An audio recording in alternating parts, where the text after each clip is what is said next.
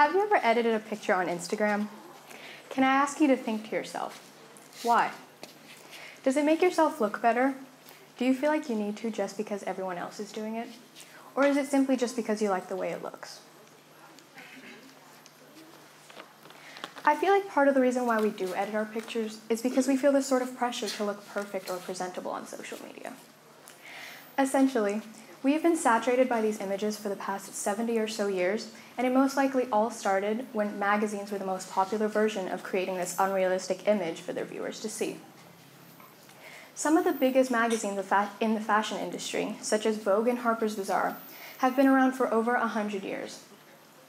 Since smartphones are part of our everyday lives now, this makes it ever so easy for us to edit our very own pictures at home. Nobody's life is as perfect as their Instagram feed. Tiffany Tales. Who wants to share a bad picture? Nobody. They only share their best selfies or pictures that show what a great time they're having with their friends. That's after all the editing and filters they may add to them, too, of course. We are creating the image of the life we want people to think we live. According to a recent Time article about Instagram, a survey of 1,500 teens and young adults showed that Instagram was the social media platform most linked to high levels of anxiety and depression. People go on Instagram and see others posting all about their perfect lives, and it's the natural human tendency for you to want to compare your life to theirs. This is what brings people down. People think they're not as good as their friends or family, or even the random people they see online. Although some people might feel happy for the people they see, all like their perfect families and all the vacations they go on, on the other hand, there are also some who feel really insecure about themselves and the life they live, so seeing these sorts of posts just worsen that feeling for them. Inverse.com presented a functioning MRI scan on the teenage brain to show exactly how it affects your brain. This scan showed increased activation in the visual cortex of the brain when viewing a photo with a lot of likes versus the exact same photo with just a couple likes. This means that your brain automatically pays more attention to stuff that has been rated better socially, regardless of its content. On Instagram, you see all the posts of your friends having a great time without you, and you see all the models and bloggers who all have seemingly perfect lives. Since you have the natural tendency to compare yourself to them, this might then cause that self doubt and anxiety some people are experiencing. I see this problem on a regular basis. I'm a part of this generation that is so involved in social media and anything to do with posting online. Once you get sucked into this loop about caring so much over likes and comments, it's really hard to detach yourself from it. If everyone else is doing it, why shouldn't you? The problem is, a lot of people don't actually realize how bad it is not only for your mental state, but also the mental states of others. I noticed all the issues that come along with seeing these sorts of posts on Instagram.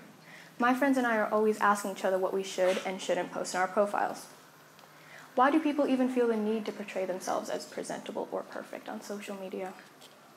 Even though people may edit their pictures, a lot of them don't actually realize that what they see on Instagram isn't the reality. I've decided to create something that specifically highlights these differences. I've created an Instagram account called Perfectly Mediocre Pictures.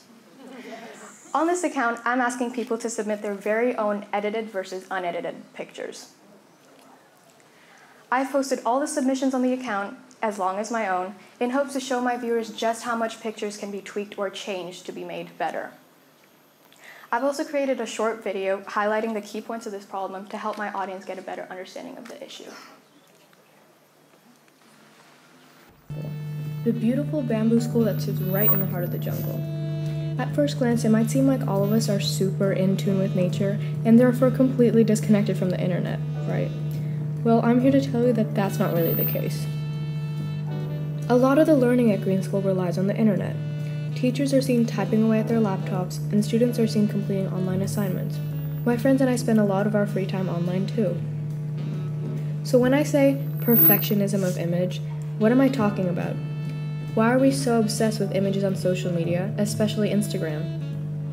How does obsessing over trying to perfect these images affect our self esteem?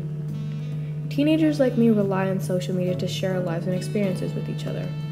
So I went around school asking different people for their opinion on this topic. How do you think social media affects the self esteem of teenagers? I feel like there are a lot of people that post stuff on social media because they want to, you know, be recognized as like pretty or like, you know, confident and everything. I think social media affects the self-esteem of teenagers because they always compare themselves to Instagram models and it makes them feel bad about themselves. If somebody has like a really popular social media account that can like bring them good higher self-esteem because if people are giving them positive comments then they're going to feel good about themselves. Why do you think there's this sort of pressure to look a certain way on social media? I think there's a sort of pressure to look a certain way on social media because society brings that to us, because celebrities look a certain way on social media, and our friends look a certain way on social media. So we sort of want to imitate what we feel like is the best image that we can put of ourselves on social media. I don't understand why you have to get the perfect photo because people that you know in real life see like every eh, like see you when you're not like perfect in a photo. Is it worth putting effort into editing your pictures? Personally, like you can edit your pictures if you want to. Like I don't really think it's worth it. I don't think that like I put filters on my photos or like edit the brightness or something, but I don't like change how I look. I mean, I think putting like a filter on a photo isn't like a bad thing. I think when it gets like it gets sad when people start like photoshopping them their bodies and stuff. But I don't think making like a photo like different colors and stuff. I don't think that really has to do with anything. The downside, it literally takes like two hours to edit a photo, and it's just a waste of time. It gets worth it at the end when people make you feel good about yourself. Shouldn't we be thinking about how this affects us? Is our obsession with the perfectionism of image creating us? Or is it ruining us?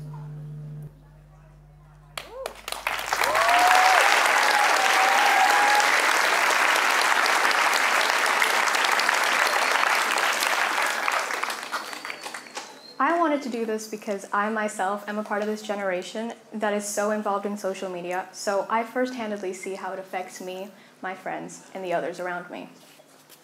I felt that creating something like my Instagram account would help reassure people and let them know that this issue of self-doubt and anxiety can be solved just by realizing that Instagram portrays this unrealistic image that people compare themselves to.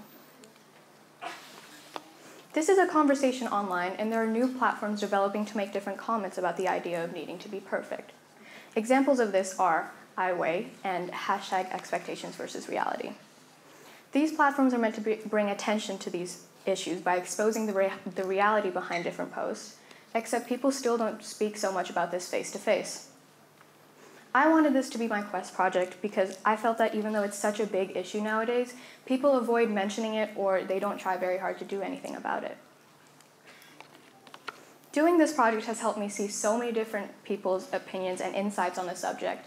And not only did I help them understand it from my point of view, but I also, it also helped me observe it from theirs. When I first created my Instagram page, I have to admit that I was a little bit nervous of what people would think of it. The whole idea of it is for people to come forward and expose themselves on a really low level. I was one that really enjoyed editing my pictures for Instagram. I had never really thought much of it before I realized that, before I realized the differences between the edited filtered version and the raw unedited one. I can see why people, including myself, would be nervous to finally come forward and be like, "Hey, this is me and this is real." If a lot of people have been hiding it and portraying something else for a long time, it can be fi- it can be scary to finally come forward and show the truth, even if it's just the smallest change by adding a simple filter. How does social media usage affect our self-esteem? Research by Dr. Mills and Dr. Hogue at York University in Toronto, studying 118 different girls, said they felt worse about their appearance after they after looking at a, at social media pages of someone that they perceived to be more attractive than them. Validation. To validate means to prove that something is based on truth or fact or that is acceptable.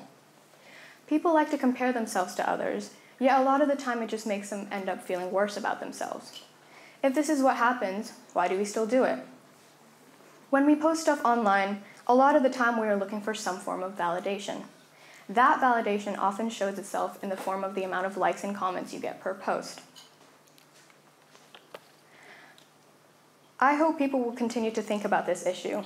Try to find a balance and maybe not just think so much about what they post and what they see.